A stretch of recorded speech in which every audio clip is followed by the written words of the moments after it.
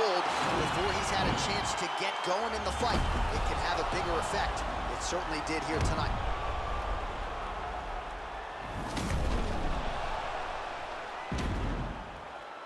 So on the sport's biggest stage, he comes up large. The baddest man